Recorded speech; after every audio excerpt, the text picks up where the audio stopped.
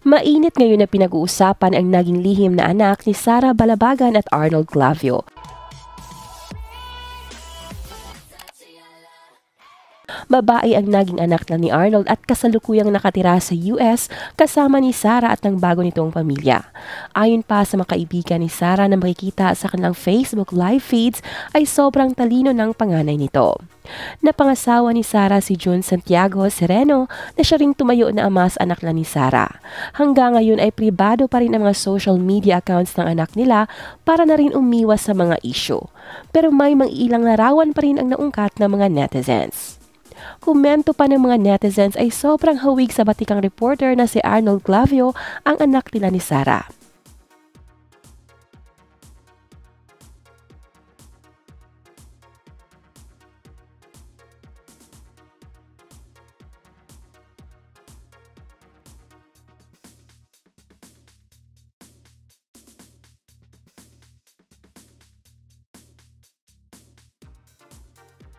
Ginawa daw ni Balabagan ang pagsisiwalat para matuldukan na ang mga haka-haka tungkol sa kanyang unang anak. Po siya ang ama. Okay. Ang ama po ng panganay ko ay yes, si Arnold Clavio po. Ano, siya po yung ama ng panganay ko. Okay? Nagkakilala po kami ni Arnold Clavio noong pong ako po ay nakapiit pa sa Al-Ain Central Jail dahil dinalaw po nila ako doon. Kasama po si um, Mr. William Gatchalian. Siya po yung nagbigay na o nag-donate ng 40,000 US dollars para sa blood money. At um, kasama po nila doon si Arnold Clavio si uh, yung ninong po ko po si Kuya Peter Singh at isa pa pong uh, veteranong broadcaster o uh, reporter na, na uh, nakalimutan ko lang yung pangalan niya. Ano? So sila po yung uh, bumisita sa akin doon. So doon po ko po unang nakita si Arnold. So naging close po kami ni Kuya Arnold, kung tawagin ko siya noon.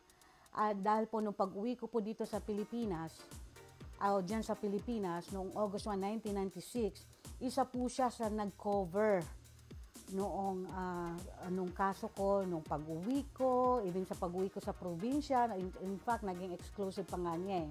Ano, uh, dahil hindi nakasama yung isang reporter sa kabilang station, iniwan, sa Channel 2, iniwan nila. Okay, um, so kaya po kami naging close. So kuya-kuya po yung tawag ko. Ngayon, sa lahat ng mga nakakakilala, personally kay Arnold Fabio, alam niyo po kung gaano po siya kakingkoy.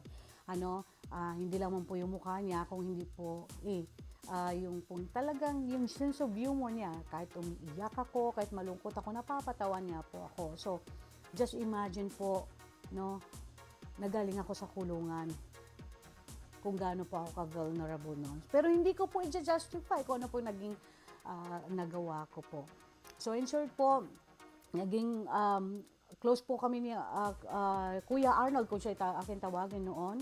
At alam niyo po, isa po siya, uh, oh, siya po yung isang tao na ka, for kauna-unahang pagkakataon na nagpasyal sa akin ano sa Maynila o sa Manila.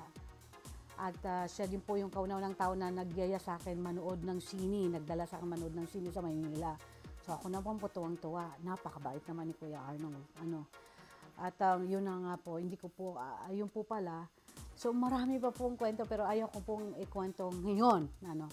Uh, so yun lang po inaamin ko na si Arnold Clavio po yung tatay ng panganay ko pong anak. At um,